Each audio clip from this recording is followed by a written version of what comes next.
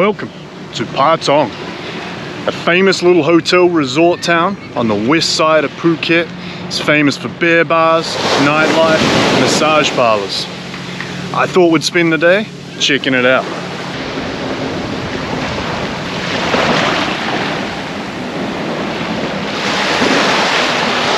If you want to feel the sand under your feet, smell the fresh sea breeze, and have the sun kiss your face, then Patong Beach is going to be your first stop. A word of warning, however. On billboards and postcards, you'll see young, beautiful, sexy people on the sand and playing in the water, where in reality, you get overweight, middle-aged men in their Speedos.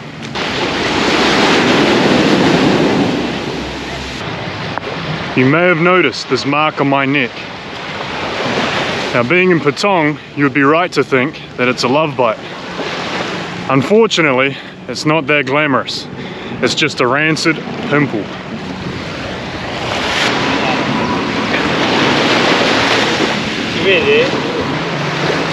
For about 100 baht a day, you can hire a sun chip.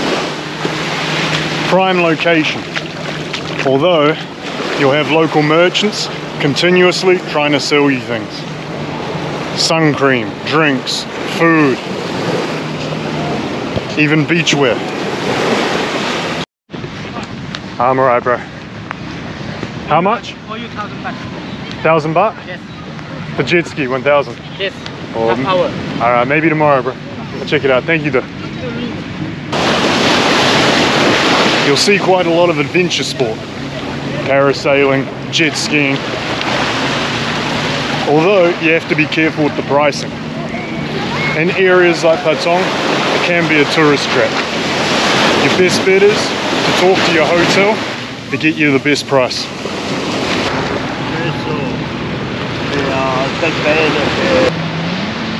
I think that's enough sun for one afternoon. Let's leave the beach, head into Patong town.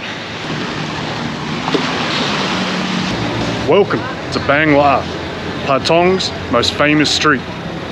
During the day, you'll find restaurants, souvenir shops, and suit tailors. But by night, it transforms itself into one of Thailand's most notorious red light districts and party hubs. Let's check it out. Some knickknacks you'll find on Bangla.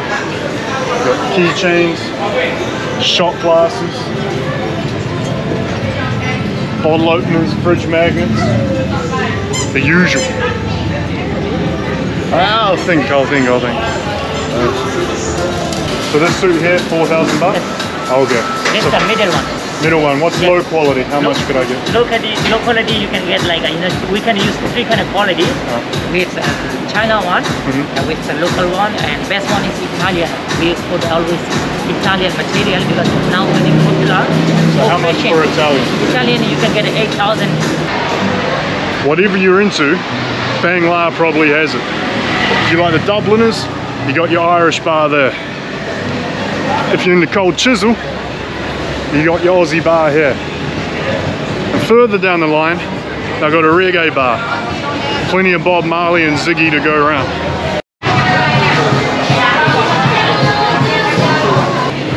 Every bar in the evening will have about five or six girls calling foreigners and tourists in.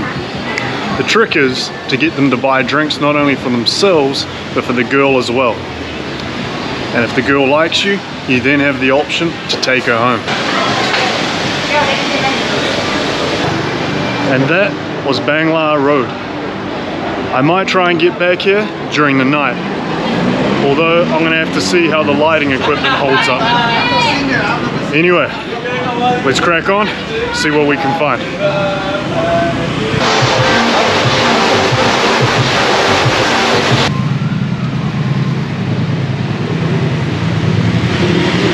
If our silver-haired, speedo-wearing divorcee strikes out on Bangla, he'll often migrate to a side street like this.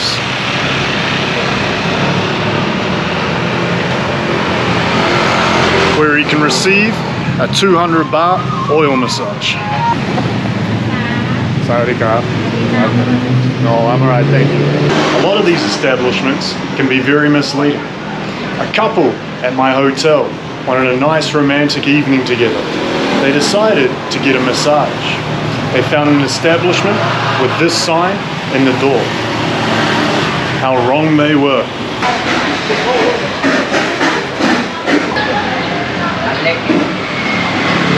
And that wraps up our day in Patong. We got to see the beauties and the horrors found at the beach. We got an education on Bangla Road and we discovered why oil massages are so popular.